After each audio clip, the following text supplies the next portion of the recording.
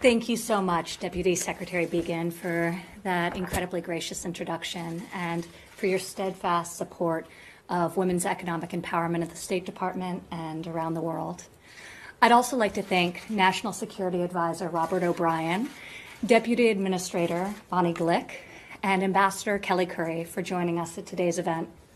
The success of WGDP and our new announcements today would not be possible without your strong leadership and dedication. We thank you. I'd like to further recognize our private sector partners who are joining us today remotely. These include Walmart, MasterCard, WeConnect, and the Reliance Foundation. Public private partnerships are a key component of WGDP success as they ensure long term sustainability and scalability of our programs. A combination of impactful programs, a whole of government effort, and strong partners is having a major impact. I'm proud to share that in the first two years, the WGDP Fund invested $200 million across more than 60 countries around the world and catalyzed more than $400 million through more than 450 partnerships with the private sector, non governmental, and local organizations, as well as government, country governments.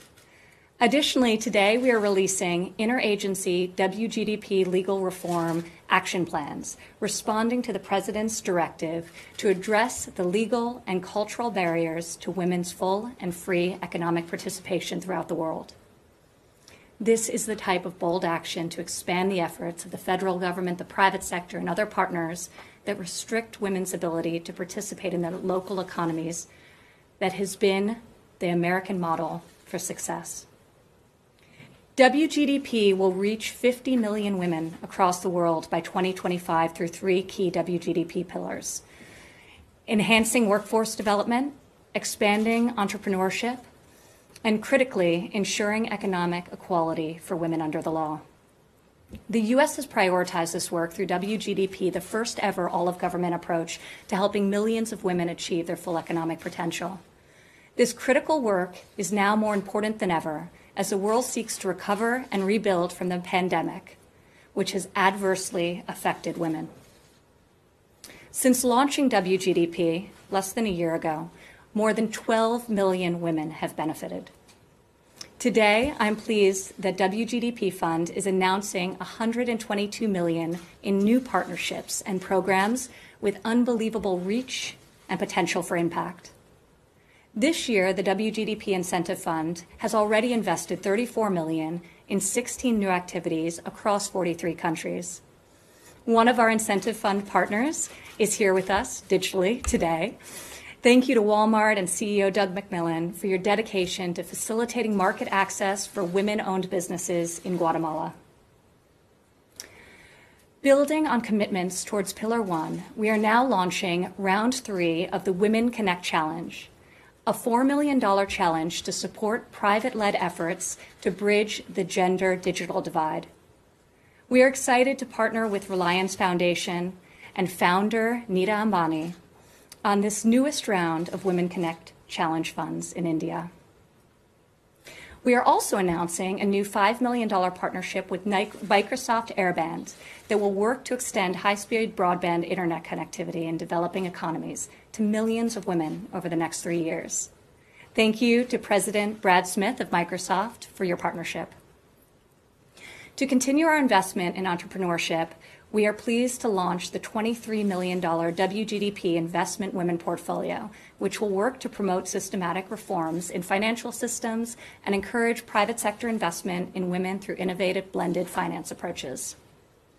We will also continue to work regionally, partnering, for example, with MasterCard in Colombia to improve access to markets and networks by equipping early stage women fintech entrepreneurs with the direction needed to connect to MasterCard's wider network.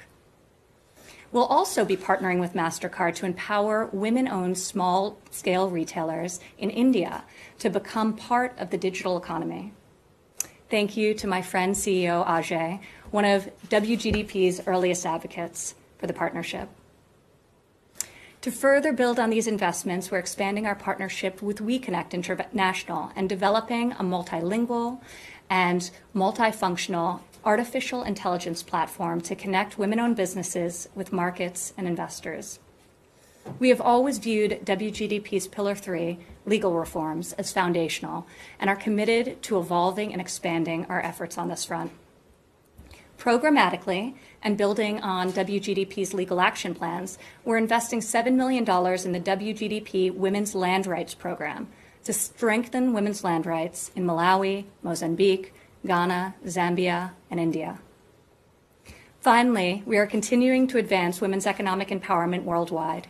Pillar 3 efforts through the launch of WGDP's Grand Challenge, Women Enabled in the Economy, is a multi-year effort that will grow in its goal of bringing together the most innovative ideas and partners in women's economic empowerment. The activities we've announced today offer just a glimpse of the life-changing and society-shaping work that WGDP is doing around the world. The Trump administration is proud to have developed the WGDP initiative, and we applaud all of our partners who continue to prioritize women's economic empowerment and implement WGDP.